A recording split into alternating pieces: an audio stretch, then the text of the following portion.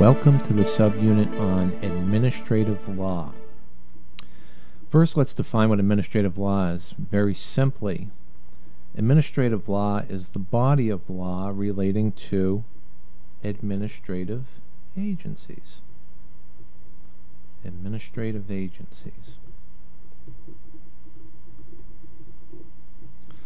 So you might ask yourself, what law impacts administrative agencies? You might think of things like statutes. Administrative agencies are established by statutes that give authority to the administrative agencies. Another form of law related to administrative agencies would be things like rules, regulations, orders, decisions.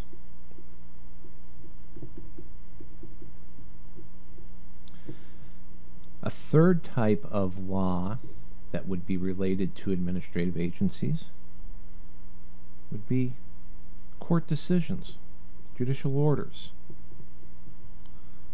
All of these have an impact on administrative law. So let's take a brief look at the history of development of administrative law in the United States. In essence, administrative law goes back to the founding of the United States. Early government agencies were established by Congress. So Congress establishes the agencies. And they were given some authority by Congress to carry out certain acts. These early agencies developed policies and procedures, policies and procedures, customs that guided them in the day to day operations and execution of their larger duties. Well, at the end of the Civil War, industrialization began to spread in a big way in the United States. And industrialization had a big impact on the development of administrative law. So, laws regulating various economic and other activities began to expand.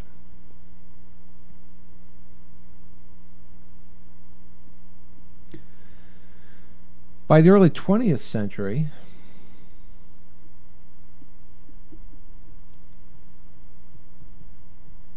administrative law really begins to take off. The range of new agencies being created to regulate things like the purity of food or to ensure fair trade.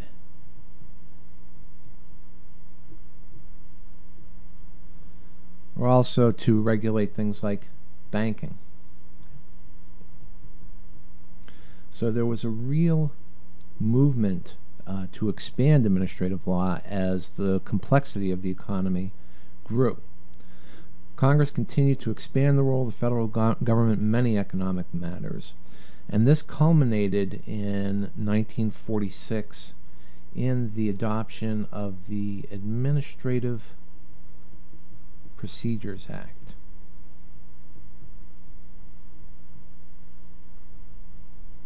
So the Administrative Procedures Act, adopted in 1946, set up a very formal system for um, the execution of administrative law by administrative agencies within the uh, federal government.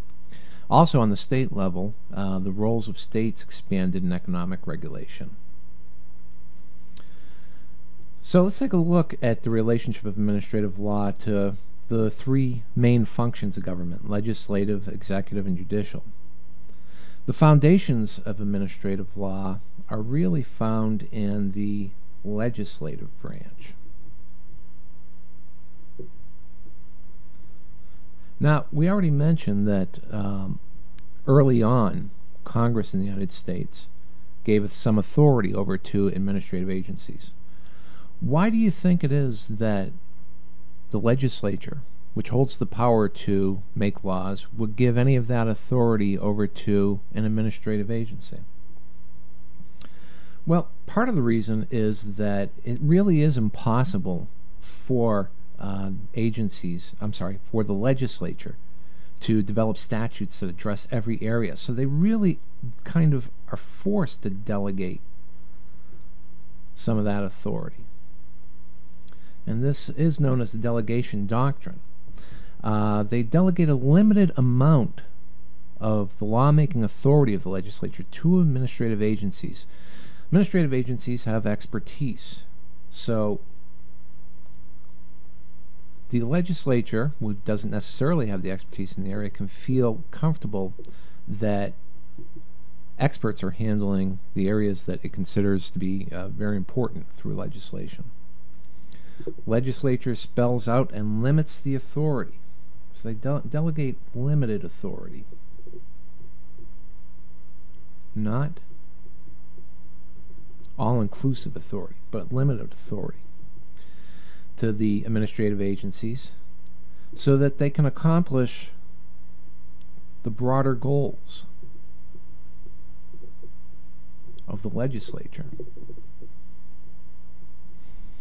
The details are then left to the administrative agency.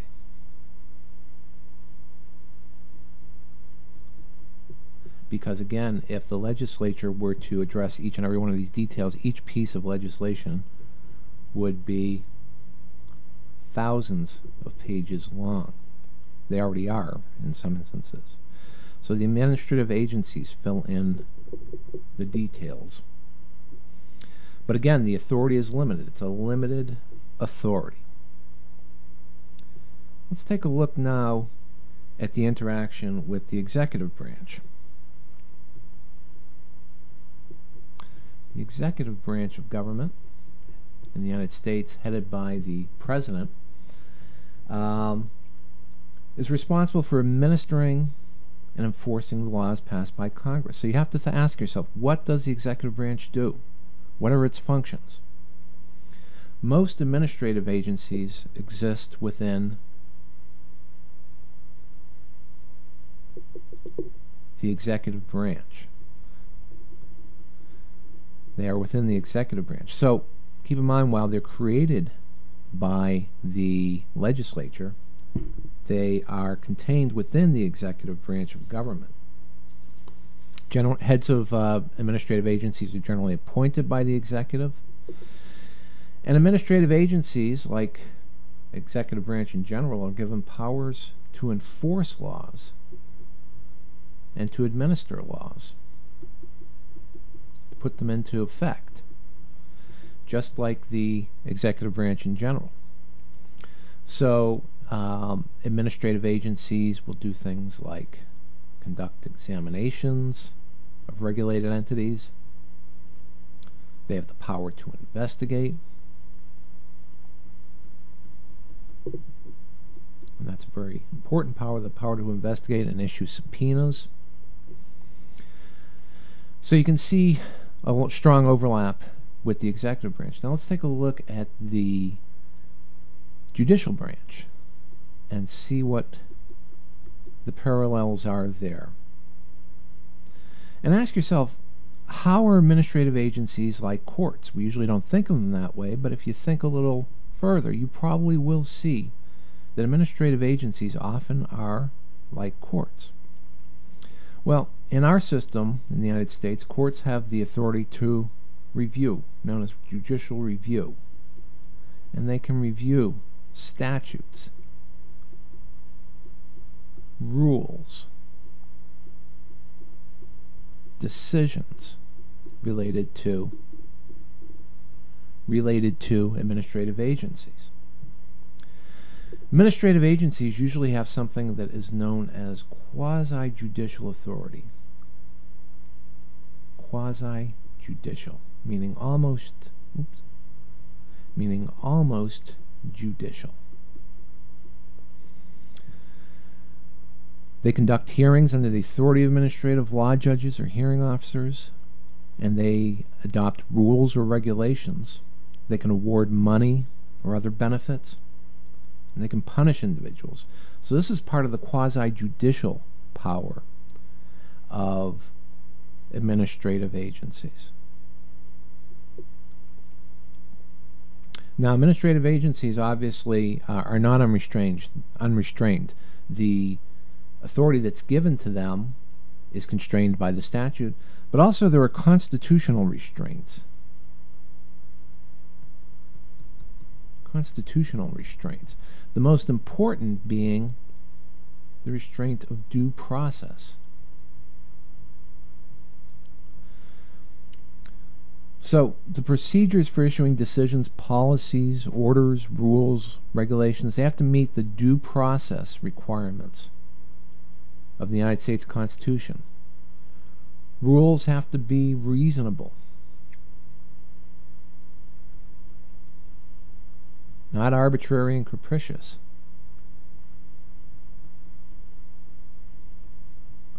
Can't just be at somebody's whim.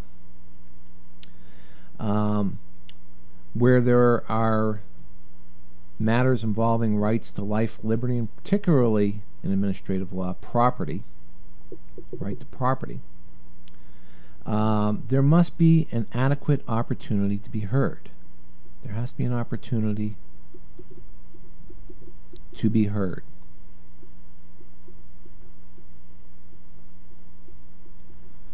So, if someone is going to have their property taken away, they have to have a chance to explain why it should not be. Okay.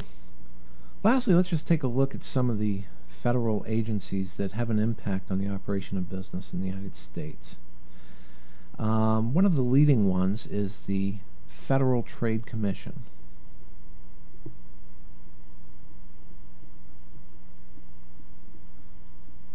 The Federal Trade Commission, and you may know them as the agency that oversees consumer protection.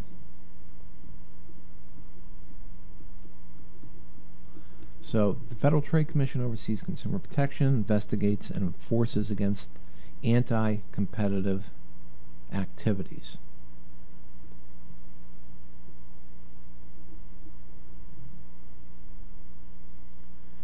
You also may be familiar with one more agency, the Consumer Product Safety Commission.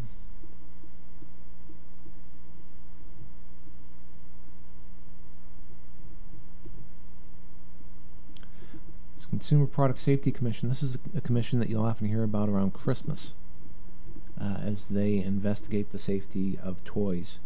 Um, but they generally regulate the safety of consumer products, as the name implies.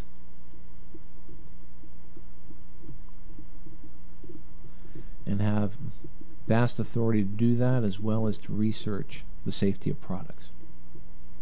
Another one you probably comes to mind is the Environmental Protection Agency.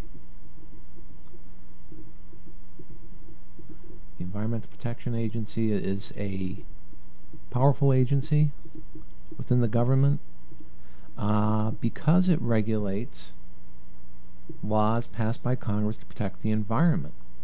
So, laws such as the Clean Air Act,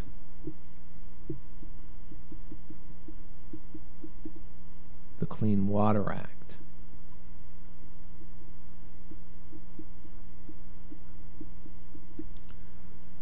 the Endangered Species Act, which we often hear about and which can be controversial. So the Endangered Species Act. And one other agency that I'll touch on here is the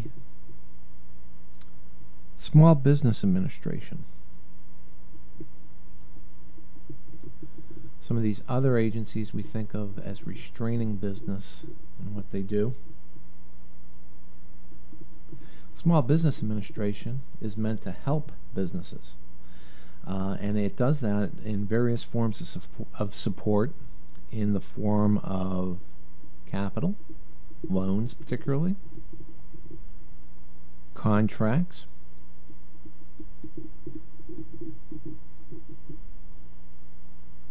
and counseling.